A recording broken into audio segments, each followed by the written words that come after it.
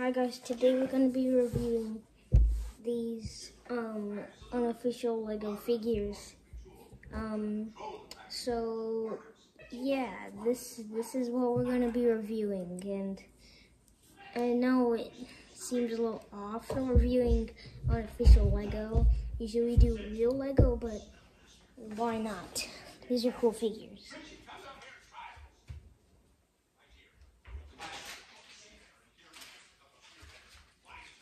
And uh, at the end of the video, I'll do, we'll take a gander at this packaging. And no, this is actually my uncle's house because uh, he went on vacation, so me and my dad are watching his dog. So, anyways, all right. So we're gonna start off with Miles Morales. We'll do all the accessories and stuff. Don't worry. Um, just move all this back. Show you, maybe you can see the figures a bit better. Alright, so this is the Miles figure. Here, let me sit on. So this is the Miles figure. As we can see, this is probably a take on the Miles figure that has like the jacketed stuff. You know, that's probably the figure it's basing on because a lot of these figures over here are actually based on official Lego characters. So, yeah. Okay, and then it also, and actually, hold on, let me show you something. It comes with Nike details. Now, that is cool because he does wear Nike shoes in the movie, and of course, it's based off into the Spider-Verse, so pretty cool. He also comes with this hood. Just put it on. But if you put it on, it kind of just like moves his head around. So I recommend that you would kind of just leave it floppy I know it looks wrong and it kind of is wrong, but still, you don't want your head stuck in the hood because this is actually a really good print. So yeah, I just kind of leave it like this. And then it comes with this web and and a, a lot of Spider-Man sets comes with webs. But this one is like so stiff, like it, it feels stiff. Like if you felt it compared to the Lego web, it's kind of stiff, but I'll give this figure, uh, I'll just figure a 9 out of 10 because of that Nike detail and it's just really cool. The web is cool too. I'm not going to judge it. Let's, who should we do next? Uh, we'll do this character. Now this, this is Mar this is um, Michelle Jones, of course, from Spider-Man um, Tom Holland universe. And, uh, right, so at first glance, you're like, Wow, I didn't know that Mary Jane has superpowers. I meant Michelle Jones has superpowers. No, she doesn't. This is just, it just, for some reason, this is a really good print. Like the face right here. Uh, okay, I think the hair is kind of stuck on the face, on the head now. But anyways, the face is based on the No Way Home um, Lego set and it's based on a No Way Home Lego set. And it looks really good, except one problem. It comes with this, like, blast thing, but she doesn't have any powers in the movie or any other movie ever, really, so it's weird, but still a good figure. Oh, and by the way, putting this together was a pain, especially those legs. I still think there's a big gap, and I still didn't put it on right, but, uh, here, we'll take a look at Thanos. Alright. Okay.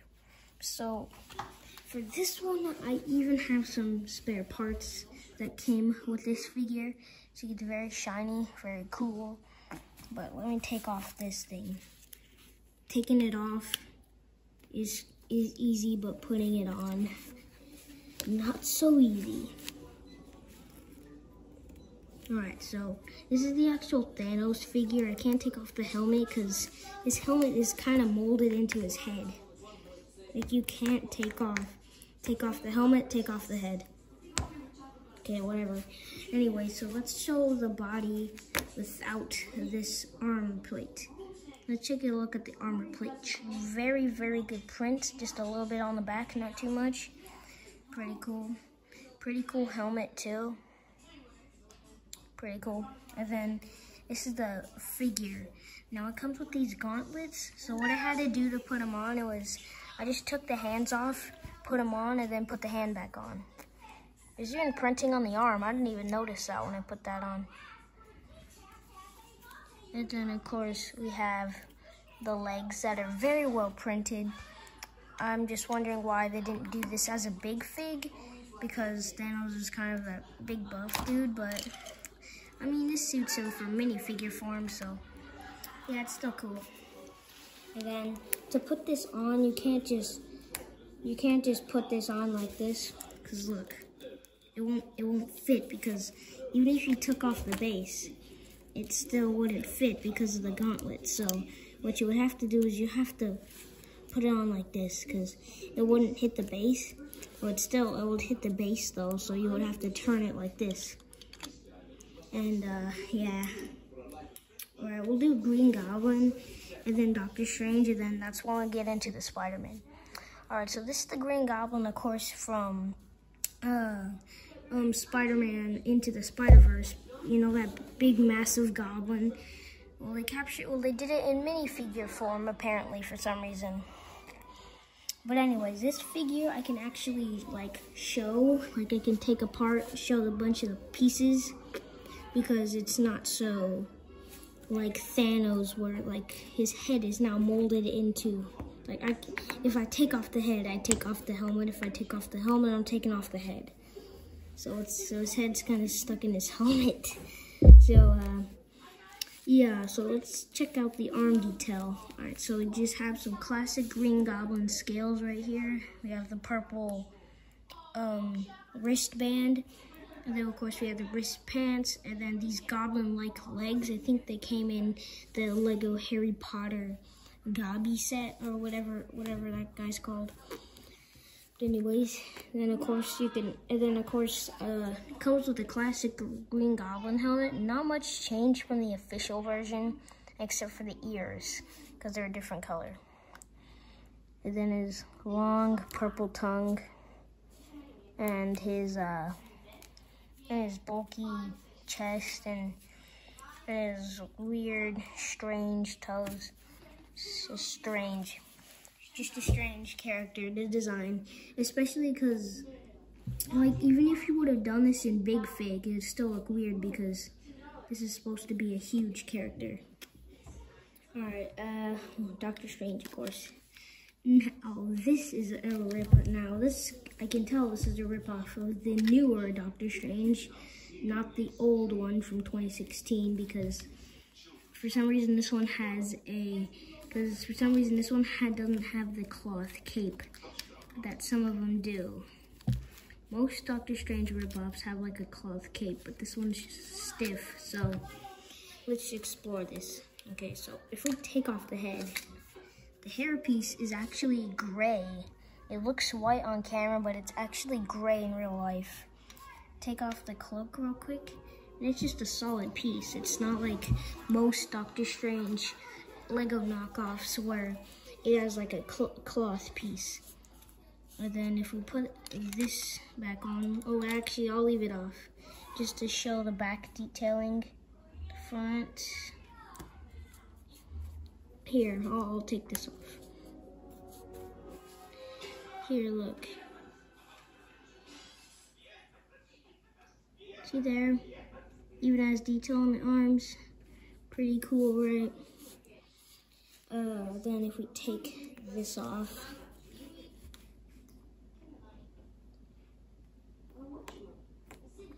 there we go.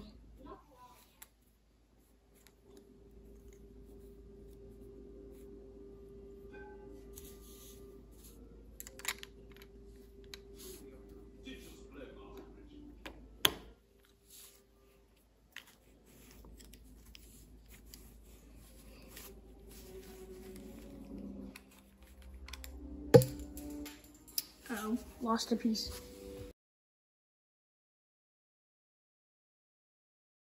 Now for Doctor Strange. Alright, let's move on to our first spider. Probably one of my favorites of every of every character. This is of course supposed to be the Venice Battle minifigure. And how the fact that um, this figure actually shares the same face with with uh, with um, Ant-Man. You know, like Ant-Man, Paul Rudd. Yeah, that character. So, so, so anyways, so anyways, of course, it has the Spider-Man hat. That's supposed to represent the one that the actual one has. Except this one's more Spider-Man-like. That one looks more Deadpool-like, I guess. And if we take, and then if we remove the face, this does look like the one, this actually, the face actually does look like the face that's supposed to represent how Ant-Man and Peter Parker share the same face in Lego. And then if we turn it around, it, it looks like a, it looks like if you took the face from Ant-Man or Peter Parker, because they share the same face, and just smooshed it down more. I guess they did this so that way if you put this on, it won't cover up the eyebrows. Because on this side, when you put it on, it covers up the eyebrows completely. So this face is definitely meant for this huge, massive Spider-Man piece. And I, and I'm so glad I got this in Lego, be in in an unofficial Lego because this is just one of my favorite Lego minifigures of all time, and I'm so happy that I have this now, even though it's not real Lego. It's still cool to have that torso too with the with the Spider-Man Spider-Man suit showing. Yeah, I just really like this figure. All right, but let's move on to this one. And then this one is probably one of my favorite figures, but we'll get to that. All right, so this is, of course, Iron Spider. Now, this one is from Infinity War, well this one's from Endgame. Now, let's take a look at this Peter Parker face. Is there a backside? If there's a backside, I have to take off that hairpiece. It's just gotta come off. Okay, it came off. Okay, it turns out there's only one face, so I just took that off for nothing, but it's a decent Peter Parker print. It looks a lot like him. Um, from the, it looks a lot like the CMF Spider-Man, like the, the one from the um, CMF series. So I just put that right here. The hair looks like classic Spider-Man, just like the CMF. Let me take this back off. No, I put it on wrong. Okay, just Okay, just just leave that alone. Now if we take, now let's take this off real quick. All right, so this is the torso. Let's take this off. All right, so this is the torso, and then this is the back side. And then what I really like about this is there's arm printing. There's, imagine if there's printing underneath the arms. That would have been so cool, but there's side printing. That's pretty rare. Um, and there's even like back printing, like even with the holes there. Like I have a lot of Iron Spider minifigures, and I'm probably gonna continue to collect them because, not correct. Continue to collect them because they're just really cool. I want to compare all of the Iron Spider figures I have. I even have this head, but I want to show you something about this head.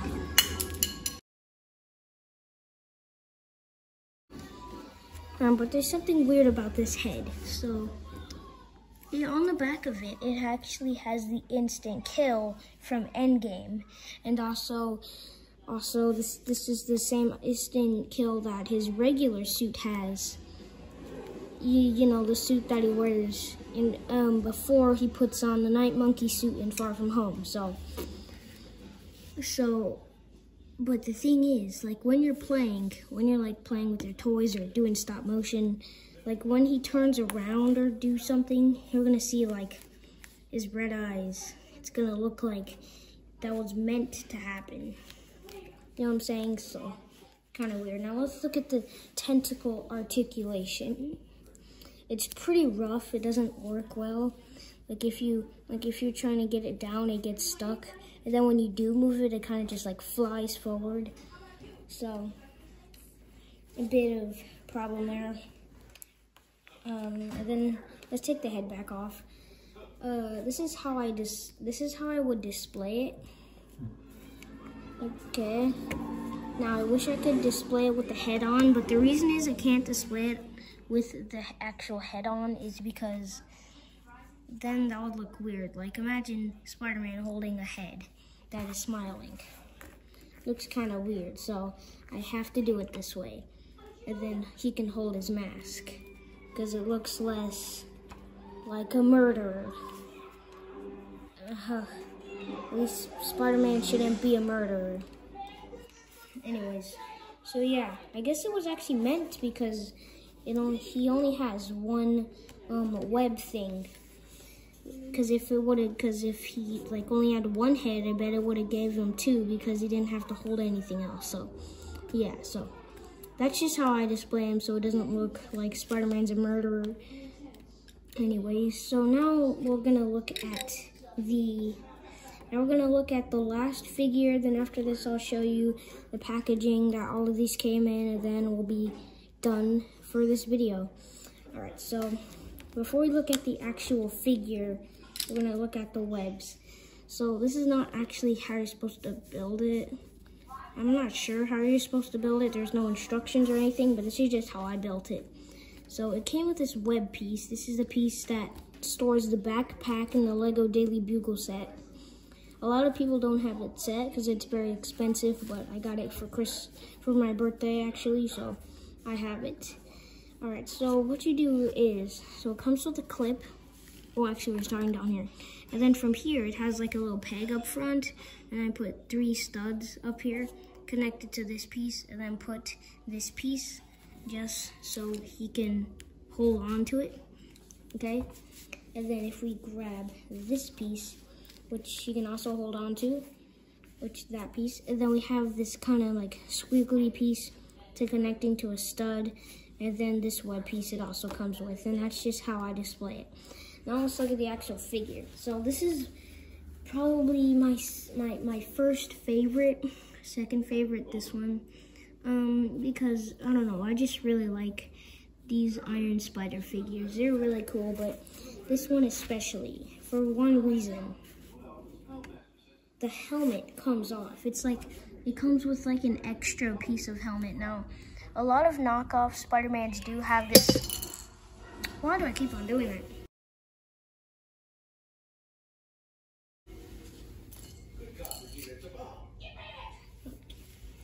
Okay, so what I meant to say before I dropped the Spider-Man is a lot of knockoff Spider-Man do have this helmet, but I just think it's so cool. I don't know. And then also, I love the design. This is based off Infinity War. I can tell this is an Endgame because it has a more darker tone and I feel the darkness, so yeah. And it even has feet printing, doesn't no side printing. And yeah, there's arm printing. I'm printing right here. Let's take off the helmet. And then there's no printing on the back of the head. I just, I thought there was. But yeah, so that was my review on the minifigures and then look at the bag and then the video will be over so yeah.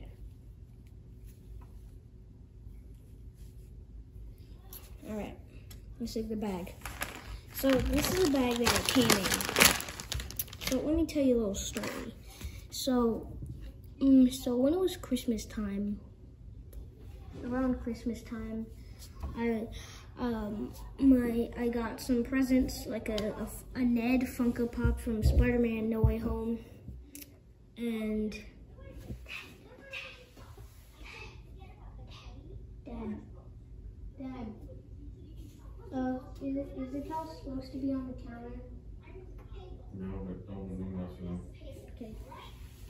So around Christmas time, my aunt gave got me some presents, but she also asked me do you want to, do I want any minifigures, like Lego minifigures, even if they're unofficial? And I said yes, and then, so a few weeks later, which is actually today, I got these today, because um, I went by her house, because from here to there is not too far, and uh, I got these from her house. This is what she ordered, and they came in this bag, all the, all the extra parts are also in this bag, but we're not gonna look at them. Um, we'll do that some other time. And, uh, and I, when I first saw these, I was like, wow, these are gonna be really cool. Open them up. They're still really cool, but they're just really hard to put together. The one that really was hard to put together is this one right here. This one took me forever to put together. I don't know why, but anyways, I'll see you guys later. I'm watching a movie right now, so uh, I will see you guys tomorrow if I even do post tomorrow. Sometimes I miss posting, but anyways, I'll see you guys later. Bye.